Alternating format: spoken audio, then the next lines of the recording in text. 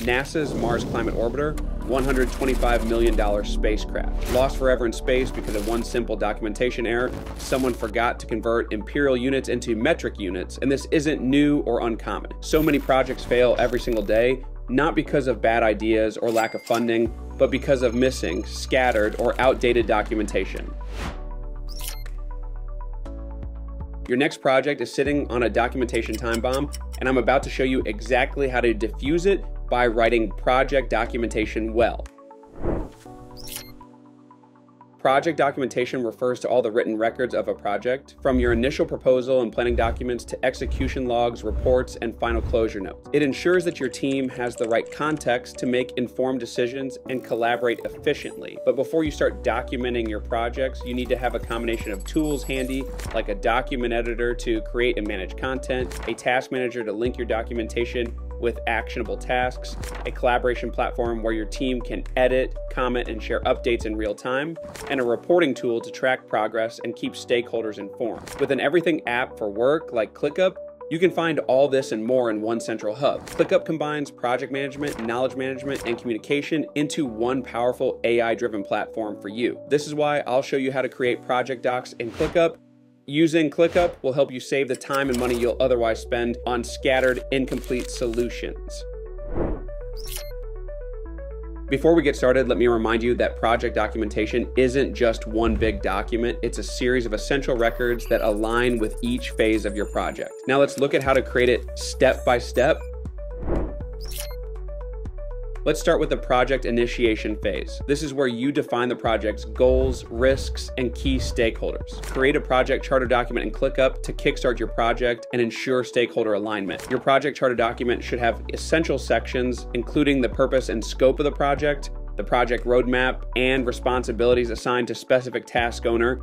Guess what's the cherry on top? A stakeholder register that shows who's involved in the project? What about potential roadblocks and mitigation plans? Don't forget to make room for them too by keeping all of this in a single space inside ClickUp your team can reference critical details anytime without digging through old emails. ClickUp Doc's rich text formatting options such as banners, highlights, tables, and bulleted and numbered lists make your project charter easier to read and understand for everyone involved. You can also connect docs with tasks and projects using links and relationships and accelerate review cycles by assigning comments to reviewers directly from the doc. For a head start, use the project charter template in ClickUp. Get it free from the link in the description.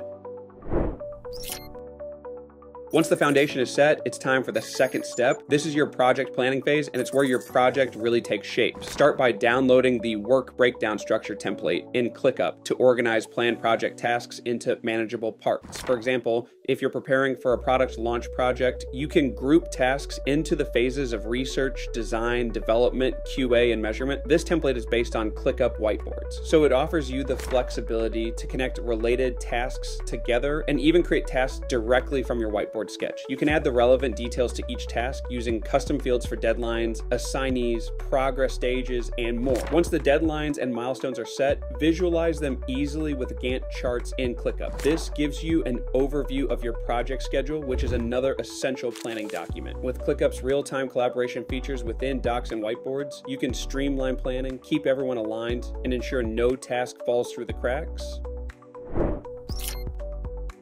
Now that planning is done, let's talk about the execution phase where the real work happens. Of course, without the right documentation, things can get messy. To keep everything on track, you need project status reports that show weekly updates on progress, blockers, and next steps. But the good news is you don't have to create them manually. Using ClickUp Brain, the world's most complete work AI, you can auto-generate AI stand-up reports and summarize project activity for your entire team for the duration you want. You'll also want to keep documentation like change management plans, issue logs, and meeting minutes handy. They will help you avoid scope creep, fix problems, and keep a written record of key decisions. The interesting bit is AI can help you out here as well. Use ClickUp's AI note taker to voice record, transcribe, and summarize your meetings. Get clearly documented meeting notes straight into your inbox at the end of every important discussion. By the way, you'll be happy to know your conversations are automatically converted into action items and you can get instant insights by asking AI questions based on your notes.